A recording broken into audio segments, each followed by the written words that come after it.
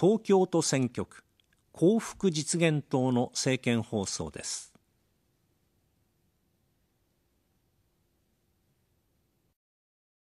お話は党首釈良子さんです。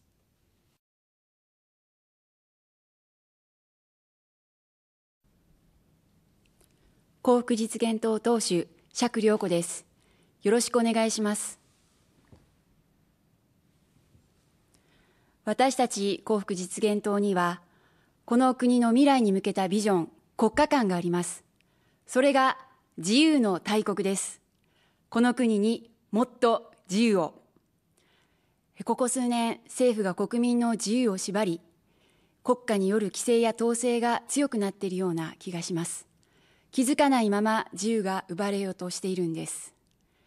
例えば今、政府はアベノミクスを大義名分にさまざまな政策を講じておられます。しかしなぜ企業の賃上げに政府が口を出さなければいけないのでしょうか。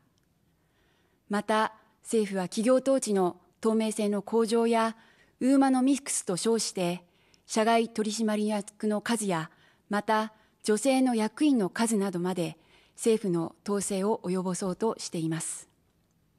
これらは本来政治が口を出すことではありません。私たちはこのような規制を取っ払って、真の自由を実現してまいります。幸福実現党は3つの挑戦で日本を自由の大国にします。まず、消費減税です。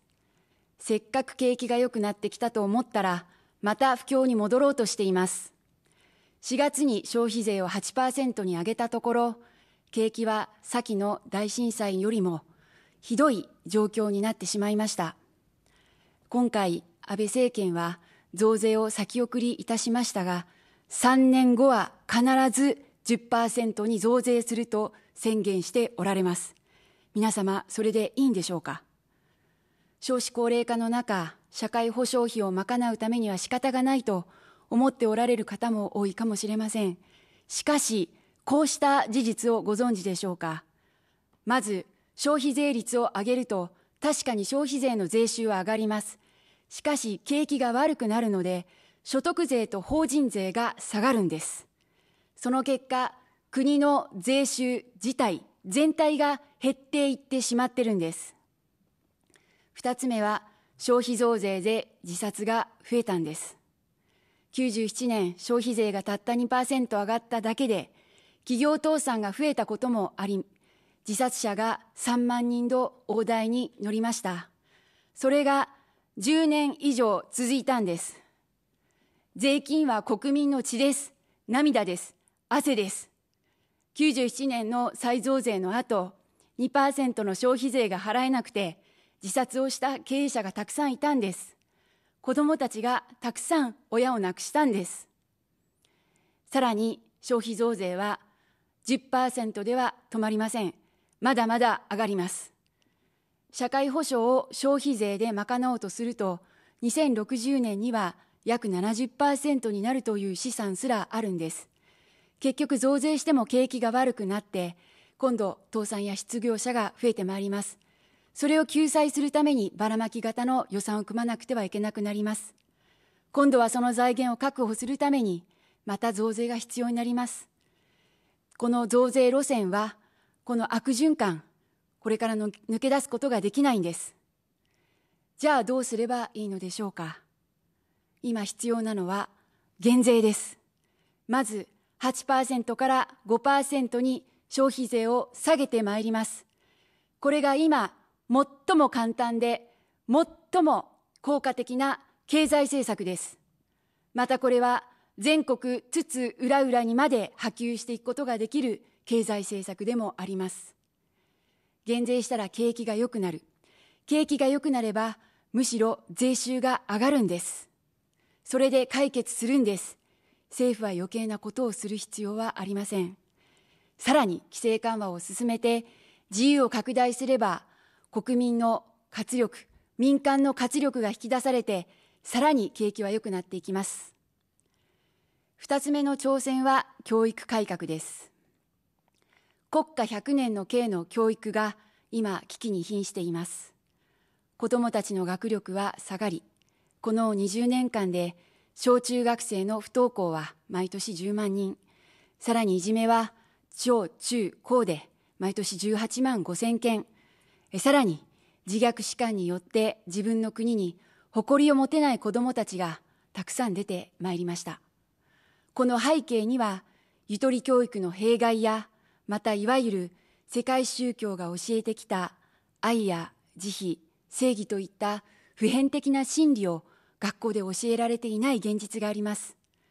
それは文科行政が学問の自由や信教の自由を理解せず、助成金や許認可行政で自由な教育を縛り、新しい学問の挑戦を妨げているからです。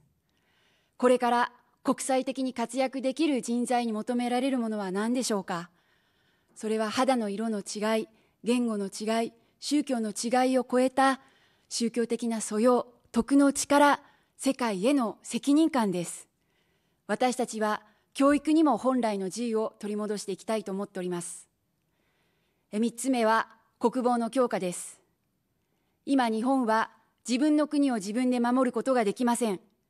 現実に日本に向けてミサイルを何発も撃ってくる国があります。日本の領海を繰り返し侵犯する国がすぐ隣にあるという現実の中で、私たちの愛する家族をどうすれば守れるのか、真剣に考えるべき時です。今年の7月、集団的自衛権の行使が閣議決定で容認されました。しかし未だ関係する法改正はなされていません。また集団的自衛権を一部行使容認できるようになったとしても国民の自由を守り国土と海空空の平和を守るそうした自衛隊を憲法9条が縛っているという現実に変わりはありません。したがって憲法9条の改正も含めて抜本的に国防の体制を整えていく必要があります。靖国神社の参拝についても中国や韓国などに配慮して首相の参拝もままならない状況にあります。しかし一国の首相が国のために戦われた英霊に対して参拝すらできないこんなことで誰が命を懸けてこの国を守ってくれるのでしょうか。こんなことで誰が命を懸けてこの国の国民の自由と尊厳を守ってくださるというのでしょうか。この国は幾多の国難がありました。その度に先人たちは命に変えてこの国を守ってきてくださいました。だから今度は私たちがこの日本を守る、守らなくてはいけないんです。もうすぐオリンピックがやってきます。しかし、そのオリンピックの先のビジョンが、希望が見えてまいりません。だから自由の大国です。自由を拡大することができれば、日本はまだまだ発展することができます。日本の底力は引き出され、日本には再び太陽が昇ります。かつてのギリシャ・ローマのように、神々の愛される国はいつも自由を掲げてきました。この国にもっと自由を。幸福実現党は必ず皆様を幸福にし、新しい未来を開いてまいります。皆様の大切な一票をどうか比例は幸福、幸福実現党にお託しください。ありがとうございました。